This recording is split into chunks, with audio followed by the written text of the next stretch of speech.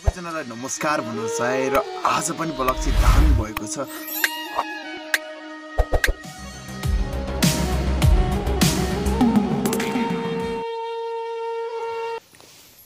सूचना सूचना सूचना। तपाईँहरूलाई के मकै छर्न गुरु चाहिएको छ? या ट्र्याक्टर बिग्रिएर हैरान हुनुभएको छ? वा तपाईँहरूलाई दिनको दुई हजार पन्ध्र सय तिरेर हैरान हुनुभएको छ। यदि त्यसो छ भने चिन्ता नगर्नुहोस्।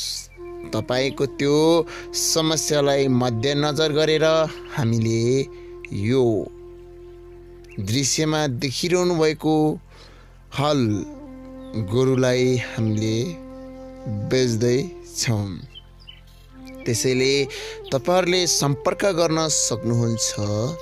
यदि तपाईँहरूलाई आवश्यक छ भने यसको केही बेफाइदाहरू भन्न चाहन्छु म यतिखेर।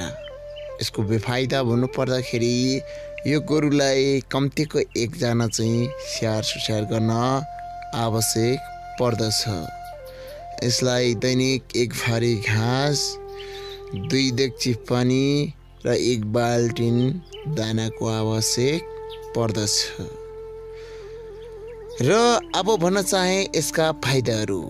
यसको फाइदाहरू भन्नुपर्दाखेरि यसलाई सजिलैसँग दाहिने देब्रे जतासुकैबाट दा नाड्न अनि नारेर जोत्न पनि सक्नुहुनेछ अनि अर्को फाइदा भन्नुपर्दाखेरि यसले दिनमा एक हल सर्लकै जोत्न सक्नुहुनेछ जहाँ तपाईँलाई ट्र्याक्टरमा तिन हजार खर्च हुन्छ भने यो हल गोरुले पन्ध्र सयमा नै त्यो काम गरिदिनेछ। अनि अर्को फाइदा भन्नुपर्दाखेरि यो गोरु धेरै सुबानी भएकोले मान्छेलाई हान्ने लात्ता खेल्ने यस्ता कार्यहरू चाहिँ बिल्कुल बिल्कुल बिल्कुल गर्ने छैन।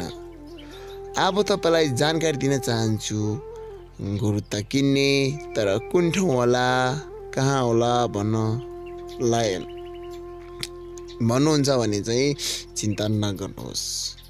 तपाईँहरूले किन्न सक्नुहुन्छ यसको सम्पर्क कार्यालय हो गौरीशङ्कर गाउँपालिका वार्ड नम्बर आठ थामी खसा। तपाईँले यदि सम्पर्क गर्न सक्नुहुन्छ भने तल कमेन्ट बक्समा तपाईँले कमेन्ट गर्नुहोला। अनि अर्को कुरा म भन्न चाहन्छु कि यदि तपाईँलाई यो गोरु त किन्ने र कति हजार पर्छ के पर्छ कति पर्छ भने एकदमै सस्तो सुलभ मूल्यमा तपाईँहरूले पाउन सक्नुहुन्छ।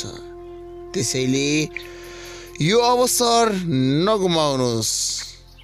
बेलैमा सम्पर्क गर्नुहोस् र आफ्नो सेट सुरक्षित गर्नुहोस् भन्दै आजको यस विज्ञापन कस्तो लागिरहेको छ?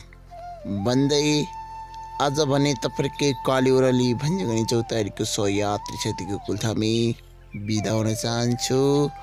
हस्त नमस्कार। जय नेपाल। कृषिमा क्रान्ति गरौँ। कृषि र शिक्षालाई जोड दिउँ भन्दै बिदा हुन चाहन्छु। हस्त नमस्कार। कस्तो लाग्यो हजुरहरूलाई सल्लाह सुझाव प्रतिक्रिया दिनु होला होइन? यति राम्रोसँगले यति रमाइलो गरेर हेरिदिनु भएको छ होइन? यसरी माया ममता दिइराख्नुहोस् पनि भन्न छ है? ओके फेरि भोलिको ब्लगमा भेट्ने छ। आज ओके बाई।